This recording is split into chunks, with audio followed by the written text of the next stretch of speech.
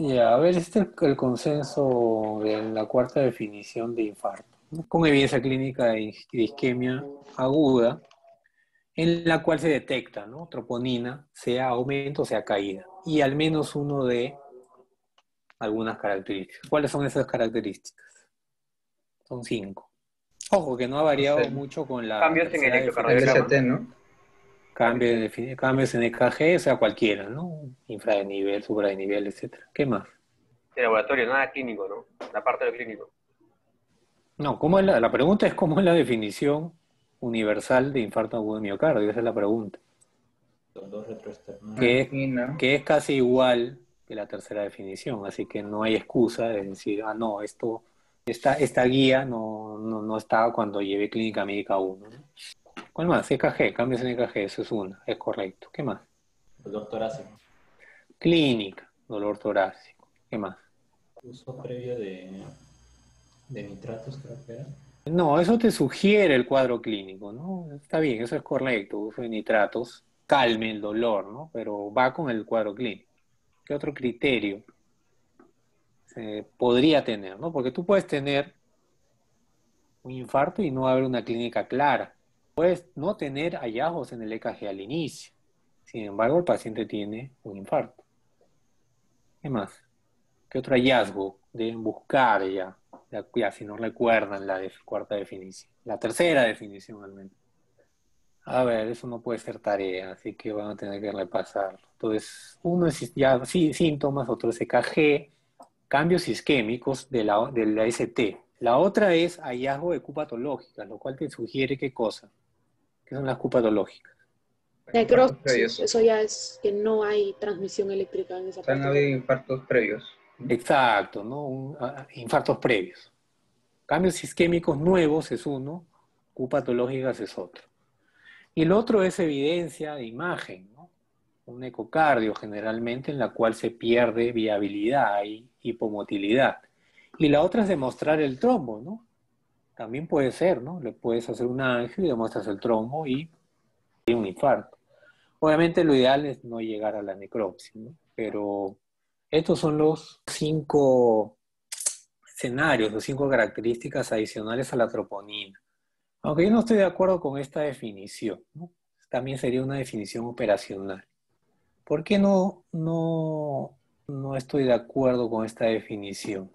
Me parece porque solamente considera que es suficiente tener síntomas, la clínica, y el aumento o caída de troponina. Y esa, esa combinación también podría darse por otras causas. Pero le puedo sumar los otros, ¿no?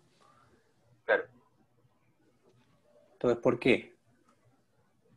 ¿Qué dice la definición? Analícenlo. Pero la definición abarca este, la, la T invertida.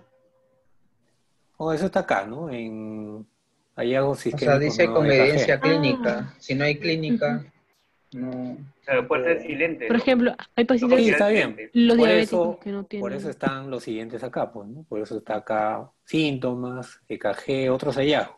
Ah, por, como condición está la troponina. Entonces, eh, ya, hay que tiene que ver? Descartas, descartas, o sea, según esa definición, si tú tienes una troponina normal, tendrías que descartar a todos los que tienen troponina eh, normal.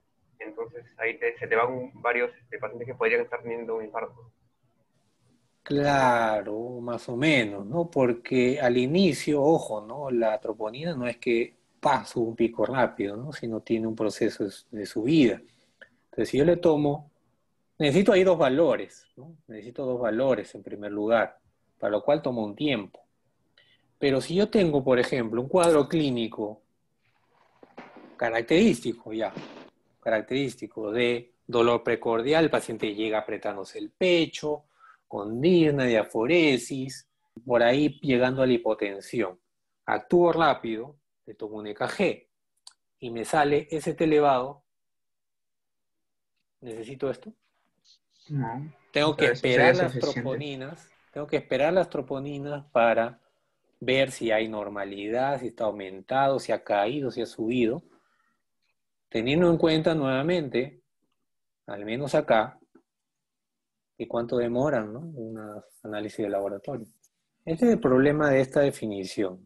nuevamente, puede ser aplicado en otros países que tienen inclusive troponina de alta sensibilidad en emergencia. Y eso sale rápido. Realmente, si está elevado y tiene clínica, ya no hay discusión. Pues, ¿no? Pero si yo le pido la troponina y se demora media hora, una hora, dos horas, ya tengo clínica, ya tengo cajea normal. Si sigo esperando, ¿qué va a pasar? A que llegue el resultado de la troponina. Se me muere. Va a seguir Exacto. E, esa, esa es la palabra. El paciente se muere.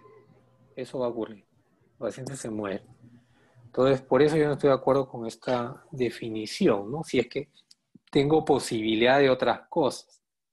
Ahora, lo más difícil es hacer un diagnóstico de infarto si el paciente no tiene clínica, pero para eso debo saber leer un EKG y ver hallazgos, ¿no?